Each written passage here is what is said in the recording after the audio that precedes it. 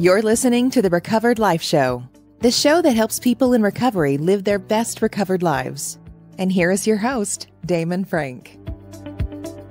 And welcome back to the Recovered Life Show. I am pleased to be joined today by Kristin Fuller, recovery coach on the Recovered Life Network, and is here to talk with us about better life mastery, how to have mastery in recovery. How you doing, Kristin? I'm doing great, Damon. I'm so happy to be part of this team. Thank you. I am so thrilled that you're on the show today uh, because we had a conversation offline that was just amazing about how to get these life skills and create life mastery. And I think deep down inside, everybody in recovery is looking to improve their life. So I'm so thrilled to talk with you today about this whole topic and kind of what you're doing on the Recovered Life Network and it's going to be a lot of fun. So I've been looking forward to uh, this conversation. Likewise, I'm excited. So, Kristin, I have to tell you right up front. Okay. So, when I heard life mastery, I was, I personally was a little confused. I was like, okay, what is, what does life mastery mean? I know it has something to do with improving your life skills and the way in which you live your life, but can you give us kind of a snapshot about what is life mastery? I sure will. So, in the recovery world, we look at I'm just going to stop using or I'm going to stop drinking.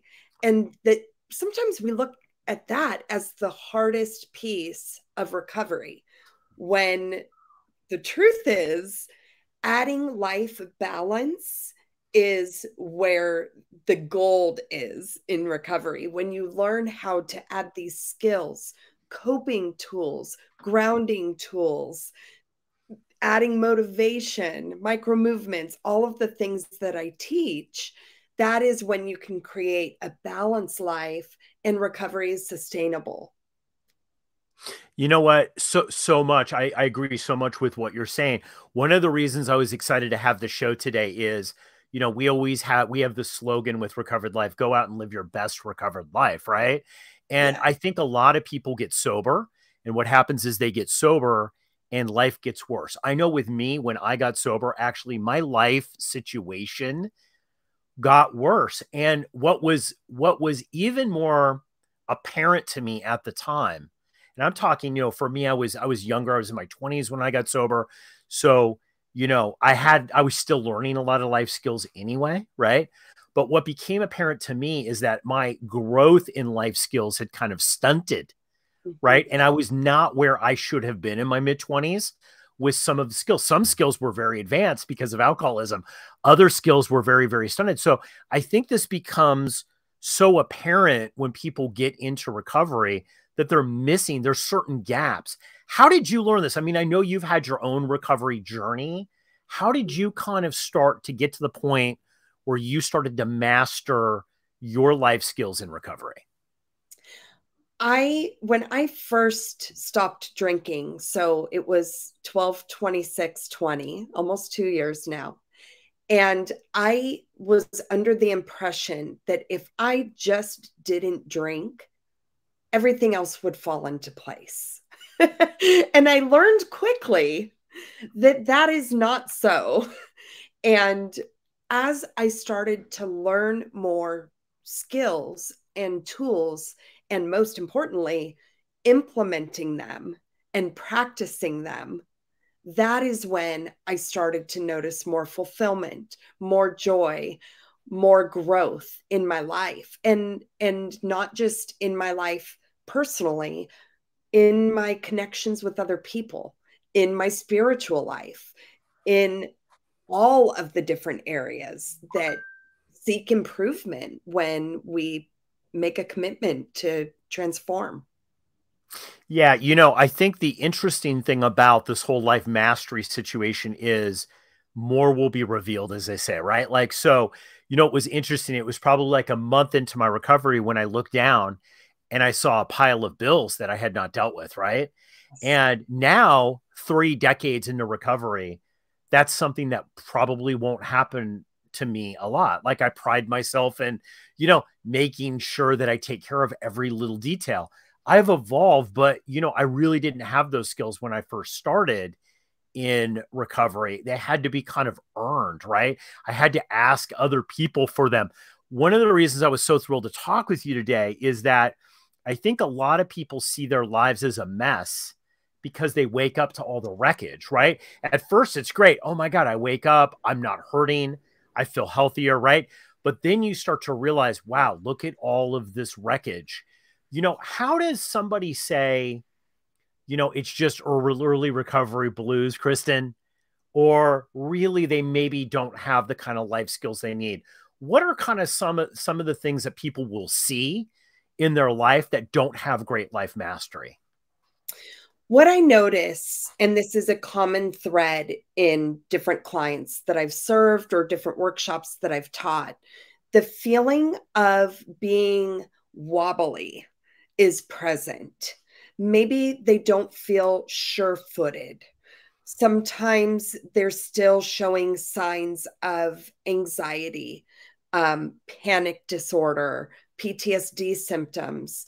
These are all different cues for me as a coach to kind of get my hands around them and say, there's more to look at here.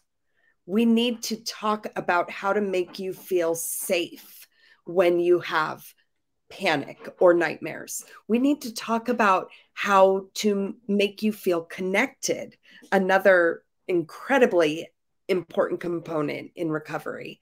So, those are different places that I look at to kind of plug them into to make them feel like, oh, yeah, I can sustain this. I can yes. keep going. Yeah. Yeah, you know, it's it's interesting that you say this because these feelings of anxiety too. You know, I've had a lot of people in early recovery tell me it's like, Damon, I feel anxious. I'm like, okay, you're $3 away from homelessness. No one in your life is talking to you. You're having a hard time staying sober for a week, right? Yes, mm-hmm. uh, anyone would be anxious with those situations, right? But it's this prolonged anxiety and this ability and i you know i and i hear this a lot i hear this a lot in 12 step rooms and this is unfortunate it's kind of like well i'm just a drug addict i'm just an alcoholic i'm just codependent like it's always going to be that way. You know, it's just like I'm just a screw up, right? I'm broken. Like I don't believe that personally, right? Like it's going to take effort and it's going to take it's going to take your ability to be able to really push yourself to try to get some of these things. How do people have this in, shift that inner dialogue from I'm just a screw up, I can't get my life together to becoming a master at being able to uh, operate their own life. I feel like that starts with self compassion and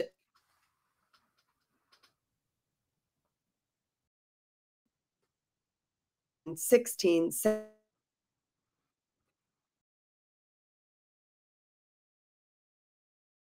you stopped learning, absorbing, growing mentally and emotionally it takes some of the pressure off of them. They feel like, oh, well, that makes sense. That checks out. And when someone is able to take some of the either shame or internal blame off of themselves, then it opens them up to be able to learn all of these different skills and try different things that of course they didn't know. Just like maya angelou's one of my favorite quotes when you know better you do better. You did it that way for so long because you didn't know any better. Here's the skills to do better. Well now you know you've hit on a couple things that i think are true to most people that i see in recovery. Not everything is blanket that everybody's like this right. but many people that in recovery um, have this feeling of shame, right? They carry it over, and it's it's what I call unplaced, right? It's it's like not placed well. That they shouldn't even be taking credit for the shame, right? They yeah. did really nothing wrong, right? But maybe they grow up in a dysfunctional family. Maybe they have an alcoholic uh, who is is a parent. Uh, maybe they have done certain things, right? Um, th- when they were out there drinking and using, and they're having a very, very, very hard time, um, you know, dealing with that now that they're in recovery. And so you know this this feeling of shame this feeling of guilt this feeling of i'm never really going to be able to get over this is something that i think is very prevalent. But i think that the response to it is just well that's it. I used to not be great i'm not perfect now so i'm never really going to be able to have a better life. I think that these are the things that people tell themselves and I think it keeps people stuck, Kristin, don't you? I mean, that's most of what you're doing as a coach is getting people unstuck, I assume. That's that's almost a hundred percent of it. It is imperative that the script that they are telling themselves is changed and that's part of what i teach in the class all of the different classes is when we change that internal dialogue to something that we would either say to our younger selves or to our own children or to our little brother or sister, then it changes the way that we talk to ourselves. And when clients can do that, then they also change the energy that they're bringing into their lives. If you say over and over, I'm just an addict, I'm a loser, I'm disorganized, that is what you will be what you absolutely out is what you will receive. So by learning these tools, it completely changes how you show up in the world. This is this is so important. This inner dialogue. You know, I talk about this a lot. We talk about this on the show a lot, Kristin, because this inner dialogue of and this gap, right? So you see this gap. It's like this is who I am. I'm no longer this person anymore. Um, and then this is who I am now but this is the potential of who I might be able to become, right? And you know, I think for anybody who's not an, an, alcoholic, they might have a hard concept with this, right? Or anybody who's not in recovery might really struggle with this. They're like going, yeah, well, that's just evolution. But I think this trauma that people have, I know I had it when I first got sober, just like, oh my God, you know, I was an alcoholic and oh my God, like, you know, I had no idea that it had such a grip on me. You will start to awaken, and you're almost in this surrealistic place where you know you're no longer that person, right? But you're not quite this other person. So it's like trying to get there. It, it just seems sometimes like you're climbing a mountain that you're never going to be able to get to. That's right. That's one of the visuals that I use in class is you know, when you set out to climb Mount Everest, you don't just start up the mountain. It takes Uh, probably at least a year of planning. There's a base camp, there are Sherpas, there are guides, there is a whole village organized to help you summit Everest. And that's how recovery is. And when we talk about different skill building and different things that we can teach you, I always fall back on when we talk about the person that you are and then the person that you wish to become. James Clear, who wrote Atomic Habits, says every action that you take is a vote for the person that you wish to become. So, by teaching these life mastery classes and giving the students the tools, they have the chance daily to vote by these actions to become this version of themselves that they're looking forward to. Absolutely. You know what? That's so important. It's like you're taking one bite at a time out of this. You know, Kristin, when we get back from the break, I want you to share some of the best stuff that you have okay. to be able to get people unstuck, to be able to get people, if they see that, look, they could have a lot more life mastery. Some of the things that you were talking about is organization, you know, how you keep yourself, your home, your your belongings, things like that. We're going to dive into some of Kristin's top tips when we come back from this quick break. If you are newly sober, trying to get sober, or you've been sober for decades and are looking to take your sobriety to the next level, the Recovery Breakthrough six week transformation concierge coaching program might be right for you. Have Damon Frank and Christina Dennis build a custom roadmap to get you on the path to getting what you really need. Receive hands on concierge coaching and stay focused and productive with our daily check ins. If you're ready to experience your recovery breakthrough and start the journey towards the transformation you deserve, book a free get to know you call today and find out what is possible in your recovery. To find out more about Recovery Breakthrough and to book your free call, go to recoveredlife.us. That's recoveredlife.us.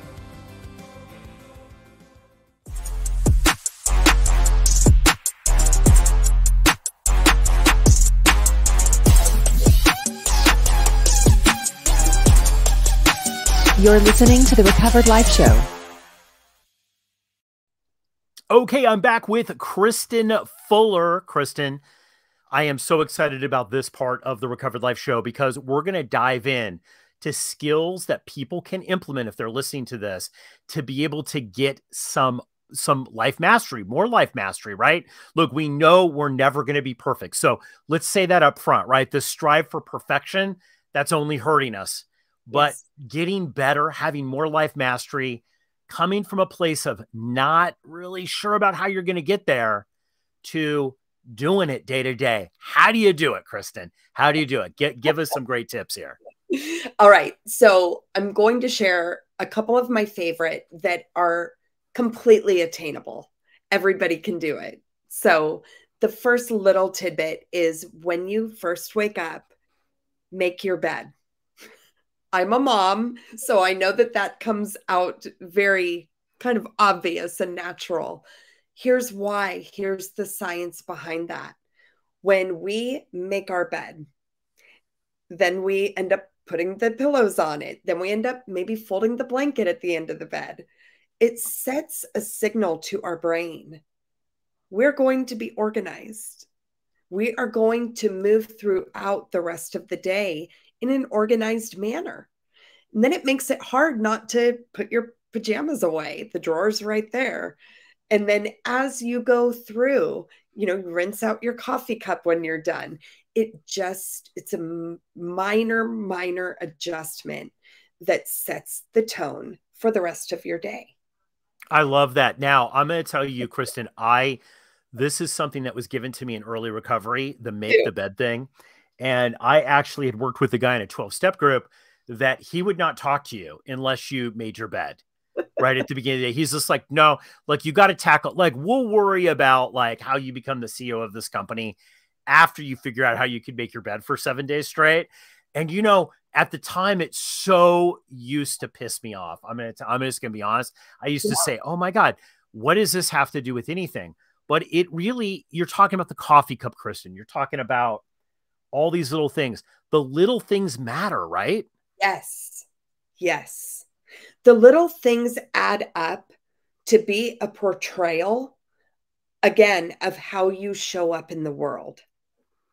So when you start your day with a vote to become a more organized person, to become a more cleanly person, then it sets you up in that manner throughout your day. It doesn't just stop with your bed. 110%. So give us a couple other skills here that people can do if they're if they're if they're in nowhere land right now. I love the small little things because that's made the big difference is the small things. But what's something else that people could do? So this one is also time-wise a very small increment, but how it works is almost like a magic wand.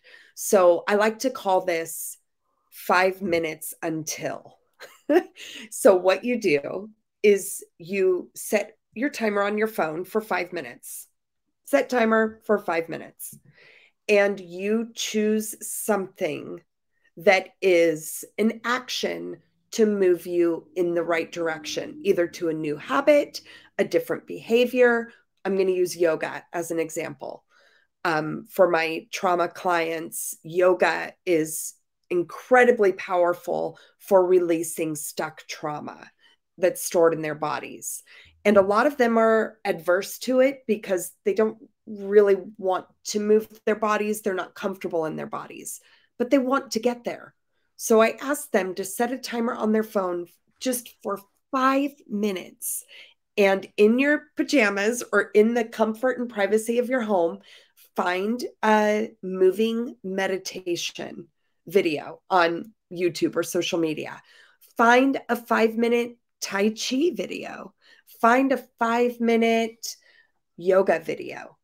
When you move your body for five minutes, the odds are very slim that you're ready to shut the video off after five minutes.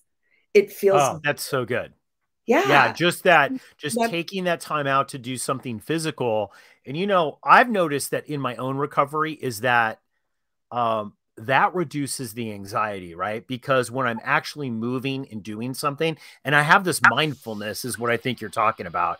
Mm-hmm. This mindfulness reduces that anxiety and obsessive thinking. It does. And pretty much anybody can do anything for five minutes. It's not so long that it's going to make you late for work or anything like that or cut carve into your family time. I'm just asking for 5 minutes and I'm asking for consistency. Notice I didn't say intensity. I'm not cracking the whip over here.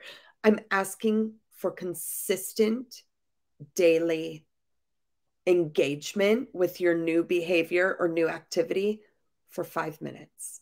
Mm, love that. Love that. And I think you know, can you talk to about like the stream of life, adding too much things in the stream of life? Because I think this is an issue too that a lot of people in recovery have is they they become awake, aware, and alive, as I say, right? I and that. they're awake, aware, and alive. And what happens is they start taking on this, and then they're, you know, they do 12 steps, and then they're in therapy, and then they're like, well i got to lose this 15 pounds they're in the gym every day. And then they've they've packed so much into the stream of life that they really can't become the master at anything right? They really can't do anything and that causes so much anxiety. And of course in a way i find i've done this in the past i'm setting myself up for failure mm-hmm. because i know that i'm never going to be able to keep that pace forever I'm not going to be able to keep that pace forever, right? So how do you how do you pick, I guess? How do you be a good steward of your time, Kristen, to make sure that you're picking the things that are really going to work and you're not overcommitting? I use an analogy of someone juggling balls in the air. And the way that you pick which to keep in the air is basically determining which are rubber balls and which are glass balls. The glass balls are things that pertain to your health. The glass balls are things that pertain to your sobriety. And the rubber balls are things that are maybe favors or little just things that take up time or maybe a little too much on social media type of things. So I like to use that analogy when we're naming values and deciding where we want to ha- have our time spent.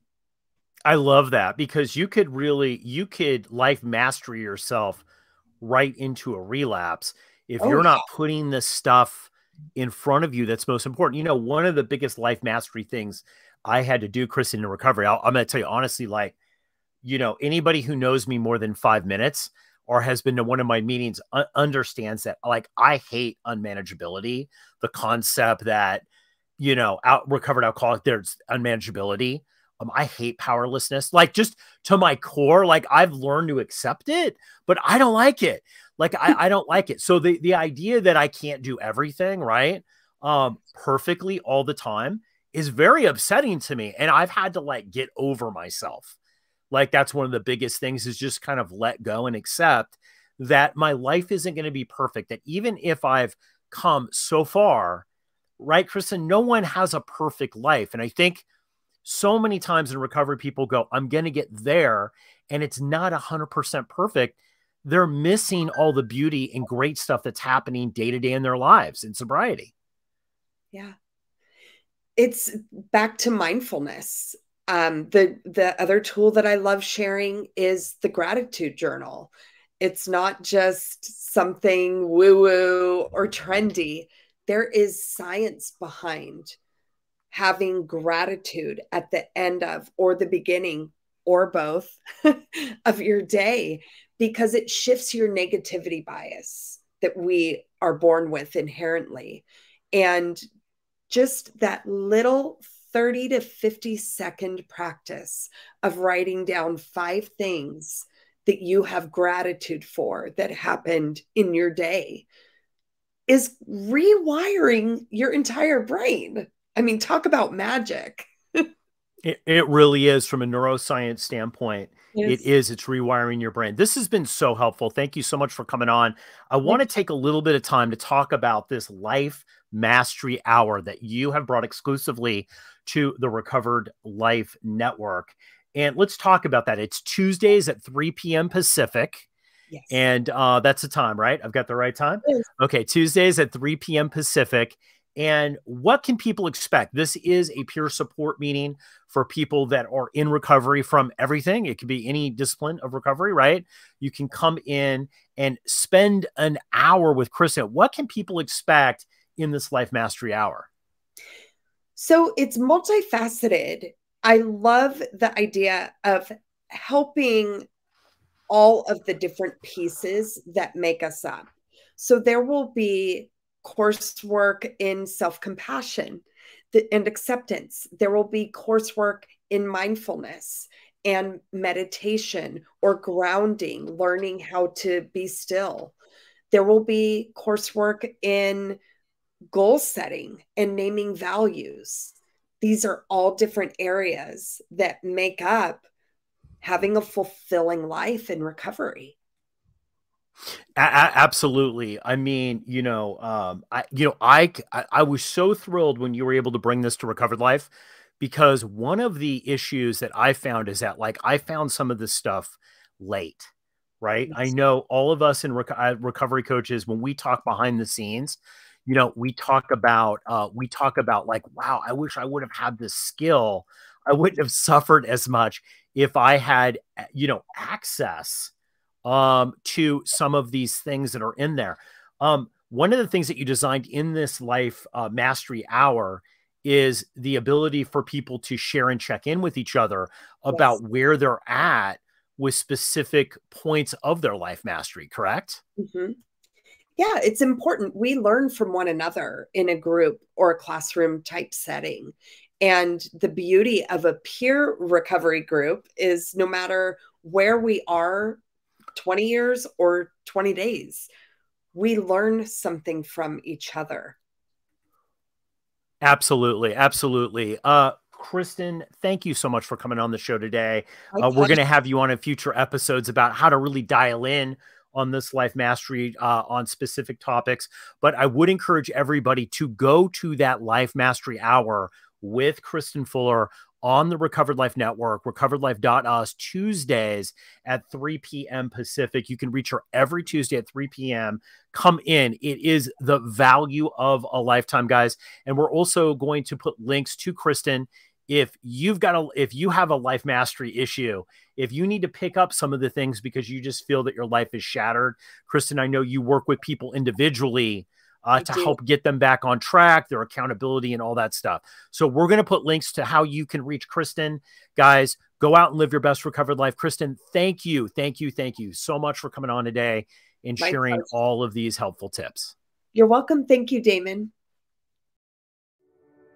Keep the conversation going. Join Recovered Life, a community of like minded people who are looking to live their best recovered lives. Membership is free, and you can apply at recoveredlife.us.